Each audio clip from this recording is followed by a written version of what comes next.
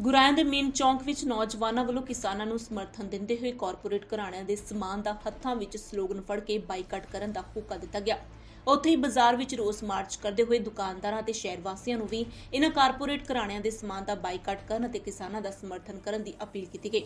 ਇਸ ਮੌਕੇ ਗੱਲਬਾਤ ਕਰਦਿਆਂ ਨੌਜਵਾਨ ਕਿਸਾਨ ਆਗੂਆਂ ਨੇ ਕਿਹਾ ਕਿ ਜੇਕਰ 4 ਜਨਵਰੀ ਵਾਲੀ ਮੀਟਿੰਗ ਵਿੱਚ ਕੋਈ ਵੀ ਸਿੱਟਾ ਨਾ ਨਿਕਲਿਆ ਤਾਂ ਜਿੱਥੇ ਕਿਸਾਨ ਜਥੇਬੰਦੀਆਂ ਵੱਲੋਂ ਆਪਣੇ ਪ੍ਰੋਗਰਾਮ ਉਲੀਕੇ ਹੋਏ ਹਨ, ਉੱਥੇ ਹੀ ਉਹਨਾਂ ਵੱਲੋਂ 8 ਜਨਵਰੀ ਨੂੰ ਵਿਸ਼ਾਲ ਟਰੈਕਟਰ ਮਾਰਚ ਗੁਰਾਇਆ ਸ਼ਹਿਰ ਤੋਂ ਸ਼ੁਰੂ ਕਰਕੇ ਵੱਖ-ਵੱਖ ਪਿੰਡਾਂ ਵਿੱਚ ਕੱਢਿਆ ਜਾਵੇਗਾ ਅਤੇ ਕੇਂਦਰ ਦੀ ਮੋਦੀ ਸਰਕਾਰ ਖਿਲਾਫ ਰੋਸ ਜ਼ਾਹਰ ਕੀਤਾ ਜਾਵੇਗਾ।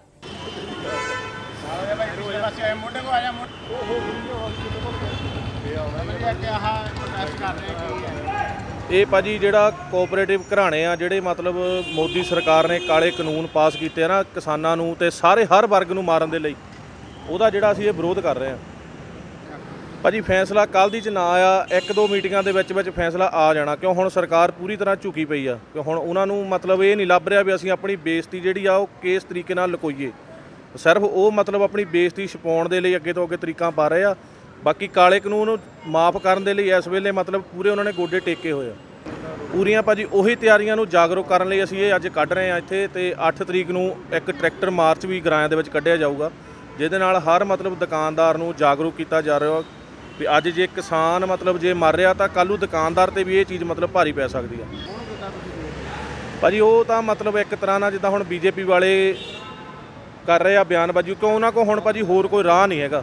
ਉਹ ਤਾਂ ਮਤਲਬ ਕਿਸੇ ਤਰ੍ਹਾਂ ਵੀ ਲੱਭ ਰਹੇ ਆ ਵੀ ਇਹਨਾਂ ਦਾ ਜਿਹੜਾ ਅੰਦੋਲਨ ਹੈ ਉਹਨੂੰ ਫੇਲ ਕੀਤਾ ਜਾਵੇ। ਤੇ ਉਹ ਫੇਲ ਕਰਨ ਲਈ ਇਦਾਂ ਦੀਆਂ ਚਾਲਾਂ ਚੱਲ ਰਹੀਆਂ ਪਰ ਉਹਦਾ ਕੋਈ ਮਤਲਬ ਅਸਰ ਨਹੀਂ ਪੈਣਾ ਸਾਡੇ ਇਸ ਅੰਦੋਲਨ ਦੇ ਉੱਤੇ। ਸਾਡਾ ਦੇਖੋ ਹੁਣ ਤੁਸੀਂ ਅੱਜ 39ਵਾਂ ਦਿਨ ਚੱਲ ਪਿਆ ਦਿੱਲੀ ਅੰਦੋਲਨ ਨੂੰ। 2 ਮਹੀਨੇ ਪਹਿਲਾਂ ਆਪਾਂ ਨੂੰ ਪੰਜਾਬ 'ਚ ਹੋ ਗਿਆ। ਪੂਰਾ ਸ਼ਾਂਤਮਈ ਆ, ਕੋਈ ਵੀ ਇਦਾਂ ਦੀ ਕੋਈ ਇੱਕ ਵੀ ਘਟਨਾ ਨਹੀਂ ਹੋਈ ਹੈਗੀ। ਉਹਨਾਂ ਦਾ ਪੂਰਾ ਜ਼ੋਰ ਲੱਗ ਗਿਆ ਹਰ ਤਰੀਕੇ ਨਾਲ। ਵੀ ਕੋਈ ਨਾ ਕੋਈ ਇਦਾਂ ਦੀ ਵਾਰਦਾਤ ਕੀਤੀ ਜਾਵੇ, ਜਿਹਦੇ ਨਾਲ ਅਸੀਂ ਇਹਨਾਂ ਨੂੰ ਮਤਲਬ ਪਿੱਛੇ ਕਰੀਏ। ਪਰ ਇਦਾਂ ਹੁਣ ਕਿਸਾਨ ਵੀ ਡਟਣ ਵਾਲੇ ਨਹੀਂ ਹੈਗੇ। ਭਾਜੀ, ਮਾਹੌਲ ਇੱਕ ਤਾਂ ਉੱਥੇ ਪਹਿਲਾਂ ਤਾਂ ਚੜ੍ਹਦੀ ਕਲਾ ਪੂਰੀ ਆ, ਸ਼ਾਂਤਮਈ ਆ, ਠੀਕ ਆ ਜੀ, ਉੱਥੇ ਕੋਈ ਮਤਲਬ ਇਦਾਂ ਦਾ ਨਹੀਂ ਹੈਗਾ। ਤੇ ਕੱਲ ਵਾਲੀ ਮੀਟਿੰਗ ਦੇ ਮਤਲਬ ਪੋਜ਼ਿਟਿਵ ਸਾਰਾ ਹੈਗਾ ਆ, ਪਰ ਹਜੇ ਇਦਾਂ ਵੀ ਆ ਵੀ ਇੰਨੀ ਛੇਤੀ ਉਹ ਵੀ ਮੰਨਣ ਵਾਲੇ ਨਹੀਂ ਹੈਗੇ। ਕਿਉਂ? ਇਸੇ ਇਸੇ ਕਰਕੇ ਜਿਹੜਾ ਅੱਗੇ ਕਿਸਾਨ ਜਥੇਬੰਦੀਆਂ ਨੇ ਆਪਣਾ ਪ੍ਰੋਗਰਾਮ ਜਿਹੜਾ ਅੱਗੇ ਰੱਖਿਆ, ਕਿਉਂ? ਉਹਨਾਂ ਨੂੰ ਵੀ ਹਜੇ ਲੱਗ ਰਿਹਾ ਵੀ ਇੰਨੀ ਛੇਤੀ ਉਹ ਨਹੀਂ ਮੰਨਣ ਵਾਲੇ ਹੈਗੇ। ਜਿਹੜਾ ਜੀ ਅਸੀਂ ਜਿਹੜਾ ਇੱਥੇ ਖੜੇ ਆ ਜਿੱਦਾਂ ਆਪਾਂ ਕਹਦੀਏ ਪਹਿਲਾਂ ਚੋਰ ਨੂੰ ਨਾ ਫੜੋ, ਚੋਰ ਦੀ ਮਾਂ ਨੂੰ ਫੜੋ, ਹਨਾ।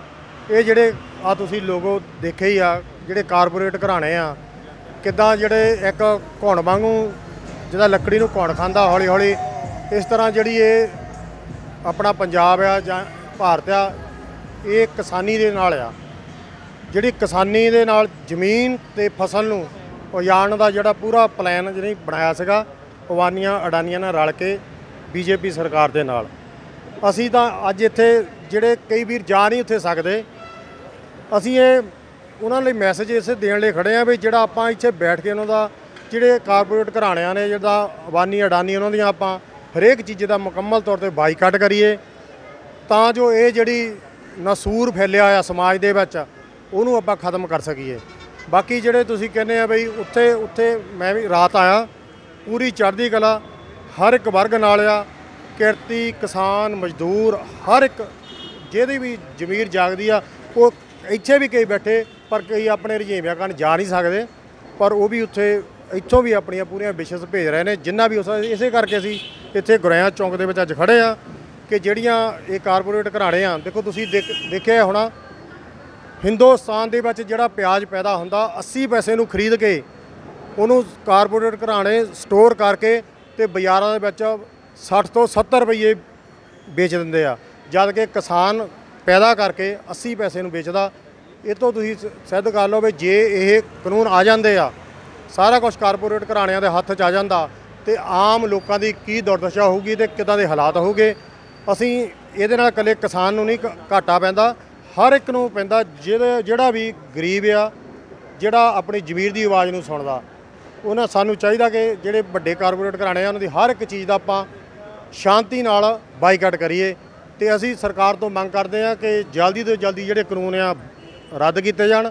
ਤਾਂ ਜੋ ਜਿੰਨੇ ਵੀ ਲੋਕ ਆ, ਠੰਡੀਆਂ ਰਾਤਾਂ ਦੇ ਵਿੱਚ ਉੱਥੇ ਰਾਤਾਂ ਗੁਜ਼ਾਰਦੇ ਆ, ਉਹ ਆਪੋ ਆਪਣੇ ਘਰਾਂ ਨੂੰ ਆ, ਆਉਣ। ਕਿਉਂਕਿ ਜੇ ਜਿਹੜਾ ਰਾਜਾ ਆਪਣੀ ਪਰਜਾ ਦਾ ਨਹੀਂ ਹੁੰਦਾ, ਖਿਆਲ ਨਹੀਂ ਰੱਖ ਸਕਦਾ, ਉਹਨੂੰ ਆਪਣੀ ਕੁਰਸੀ ਤੇ ਵੀ ਬਹਿਣ ਦਾ ਮੇਰੇ ਹਿਸਾਬ ਨਾਲ ਕੋਈ ਹੱਕ ਨਹੀਂ।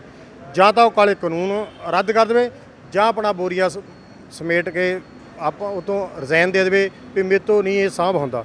ਕਿਉਂਕਿ ਜਿਹੜਾ ਰਾਜਾ ਪਰਜਾ ਦਾ ਨਹੀਂ, ਤਾਂ ਉਹਨੂੰ ਰਾਜਾ ਹੋਣ ਦਾ ਵੀ ਕੋਈ ਹੱਕ ਨਹੀਂ। ਅਸੀਂ ਇਹੀ ਕਹਿੰਦੇ ਆ ਵੀ ਜਲਦੀ ਤੋਂ ਜਲਦੀ ਜਿਹੜੇ ਕਾਨੂੰਨ ਆ, ਇਹ ਰੱਦ ਕੀਤੇ ਜਾਣ। ਗੁਰਾਇਆਂ ਤੋਂ ਕਰਮਵੀਰ ਸਿੰਘ ਦੀ ਰਿਪੋਰਟ। ਜੇਕਰ ਤੁਸੀਂ ਦਰਦਰ ਦੀਆਂ ਠੋਕਰਾਂ ਖਾ ਕੇ ਪਰੇਸ਼ਾਨ ਹੋ ਚੁੱਕੇ ਹੋ, ਤਾਂ ਇੱਧਰ ਉੱਧਰ ਨਾ ਘੁੰਮੋ, ਕਿਉਂਕਿ ਮਹਾਕਾਲੀ ਜੋਤਿਸ਼ ਕੇਂਦਰ ਕਰੇਗਾ ਤੁਹਾਡੀ ਹਰ ਸਮੱਸਿਆ ਦਾ ਹੱਲ।